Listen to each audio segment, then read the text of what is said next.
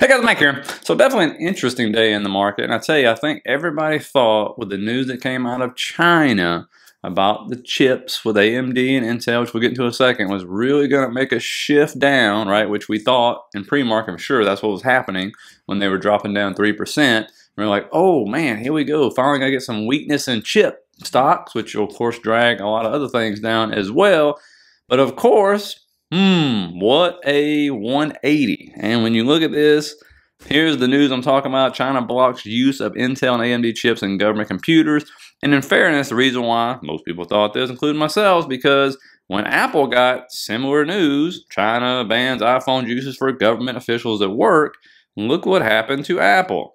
Ends up dropping around 5% in two days. And then when you look as this thing just kept going down, ends up around 9% in 12 days. And then it just kind of kept going down from there. But you know, so we expect something or expected something similar, right? But AMD was like, eh, I don't think so, at least not today. And so it started off 3%, completely almost recovered, went green for a while, uh, then went back slightly red. But one thing to look at AMD on if you're an AMD trader or an investor or whatever, when you want to know when to buy, look at the year-to-date anchor VWAP, right? This is coming from the first day of the year where it's sitting just below it right now. But you see multiple bounces, right? So we'll take this one off and I'm to put it back up in a minute. But this is 2023's year-to-date anchor VWAP. You see how many times it bounces and when it gets right below it, it just absolutely launches, right? And so again, you can see it absolutely just went parabolic there. But when you pull up 2022, even in a downtrend, you see something very similar right? That's the first day of 2022 right there. And you can see it's the opposite though, right? It, acts as a barrier, right? As resistance. And so even when it gets slightly above it, ends up selling down all the way down here. So whether you're in an uptrend, downtrend, and all stocks do not do this, but AMD is just one of those ones. And also if you pull up uh, the MACD, which we'll do that, we're going to get rid of these.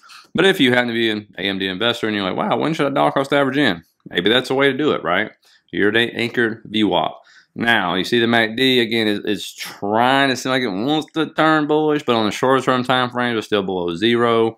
And so bears really are kind of in charge right here. Here's the 30 minute where it got over it and then sold back down right there. That trend line was resistance today. The one that was above, bouncing, bouncing, ends up resistance till it gets back above it.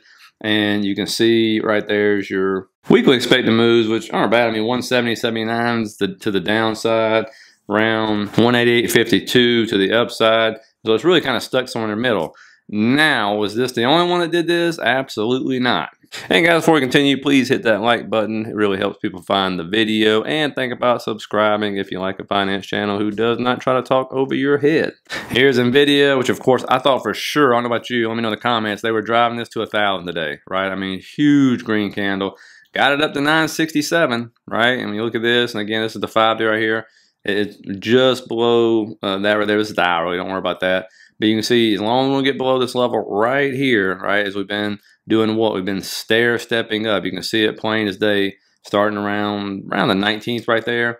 And so it just keeps stair stepping its way up where it does a big move in the morning, kind of sells off in the afternoon, right? And of course, leaving behind support, coming down to the prior day's level usually, and bouncing, okay? And so again, is this going to end up eclipsing the previous all-time high around that 980 mark to finally get us to a thousand? You can see the weekly expected move on this one right here. Again, stuck basically right in the middle.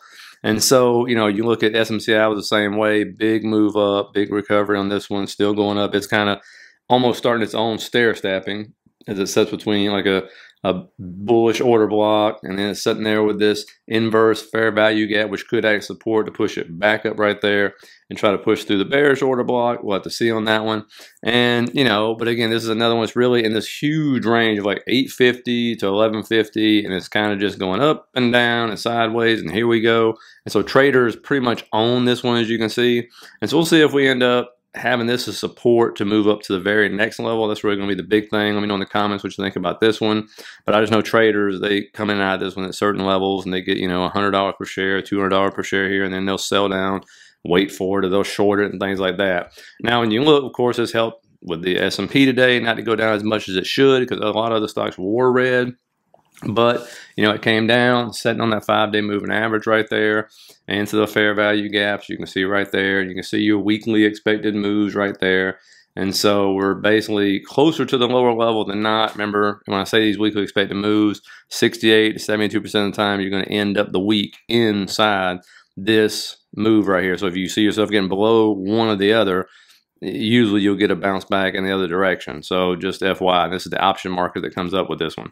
Now, IWM right here, what do we want to do? We want to come back down, test that 2023 high. Where do we end the day? Bouncing off the 2023 high, right? So got a retest of that right there, still above the five-day moving average basically closer to the higher end of the weekly expected move, which by the way is only four days. I didn't mention that in Sunday's video. Thank you for somebody in the comments uh, making sure I do that. So it's only four days. So Friday we're closed for a Good Friday because it is Easter weekend coming up. And so, you know, with this one right here, when you pull out, if we do break down below that level right there, obviously you still have that enormous fair value gap to the left right there. It's kind of hard to miss, which you could use to also react off of and go back up. And so, you know, look at this one is still bullish, right? It's still going, you know, in, in a range there, of course, but there's nothing bearish about IWM right now. When you look at this, it's just basically the ranging, but it does have support down below for it if it wants to continue to move higher. And if it stays above that 2023 high, that is a, a very good thing. And then when you go to individual stocks, see Disney had a really good day today, up over 2%, and it's just breaking these levels, right? This is what's happening as it stays up in this channel, continues moving up. And speaking of something I talked about with PayPal, which we'll talk about in a minute, you can see when I talk about the golden cross of that 50 and 200 right there, you know, right there is when it happened for Disney. Doesn't mean it's going straight to the moon or anything, but it is a bullish thing that happens most of the time. And you can see ever since that bullish cross for Disney, it's up a whopping what is that 32% right there? So nice move up since that. And you know when you look at this one as well we kind of pull out a little bit. And we look at this one I mean all I'm gonna do is draw some trend lines right here across these levels right here to see if it end up getting a back test or not. And you know understand today one reason it had a very good day today was it got a price upgrade right from Barclays. They end up increasing this one from 95 to $135. So that is a bullish thing. One reason they're probably doing this and one reason it still continues to move up is because actually in April, it's one of its best months. It's the second best month usually. And when you see, here's the seasonality right here for April for Walt Disney. And then you look also at the percentage as far as like how often it gains in frequency. It's 70% for April. The only other one is, I think, bigger than this is November at 75%. And so, again, we'll see if seasonality plays out on this one. But you got big firms giving upgrades and stuff, so no surprise there. Now, talking about PayPal, again, when you're looking at this one, you're looking for that golden cross between the 50 and the 200. Still has not got it. Okay. Doesn't mean it's going to go straight to the moon. It can sell back down when that happens. But overall, looking longer term, usually that is a bullish thing. Right now, it's just consolidating right there, as you can see, mitigating that fair value gap to the left right there. And so what was supply actually turning into demand at the moment. At least that's what it's trying to do to move up into that RTH gap, which has been there forever on a bad earnings call. And so that really is your main target once it gets above that level right there to the left for sure. Now, when you look at Palantir, for example, some people are going to say it's a head and shoulders. Could be. We'll see if it plays out. I'm expecting to come back up to maybe form out that right shoulder, what you expect. And if it does break the neckline, you know, anywhere from 19 to 20 bucks, whatever is what you're really looking for on this one. If that happens, that means it's got to happen. Uh, all head and shoulders don't work out when you look at that thing. Uh, but again, if it does uh, end up panning out, you, like I said, 19, 20 bucks somewhere in there is really uh, what you're looking at and stuff. So, and again, you guys are moving average averages, which could act as support. The 50 and the 100, all of them are curled up and stuff, uh, heading up to an upper trend. So that's a good thing. It's still sitting on the other trend right there, which was resistance, now turned into support. So this does not have to work out. I'm just telling you to be aware of it if it does. Again, you got an RTH gap there which could also be filled, which would be a great thing. And then if you pull the fibs on this thing from when this move started, you know, that's going to put you anywhere from that 50 to the golden pocket area.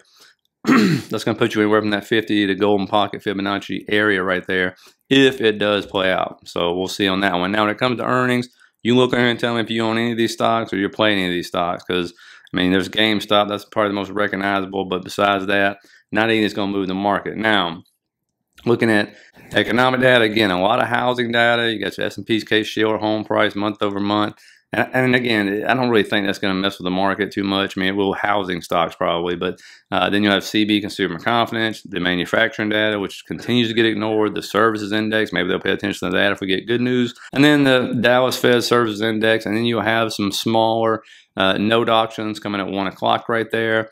And I'll definitely touch on more tomorrow when it comes to energy uh, and a few other things to watch out for for sure because that's really important and it looks like energy continues it performed very well today and a lot of those stocks are breaking out so we'll go in a lot more detail on that for you so you can see it because I'll tell you one reason for your pocketbook why you want to know if like XLE and the rest of these are going to start breaking out to a much higher level and stuff. So it's, uh, it definitely will affect your pocketbook and I will show you why. Okay. So please let me know if you got anything out of this. Hit that like and subscribe button. Really appreciate it. Let me know you think this week's going to pan out and stuff. Are we going to be green, red?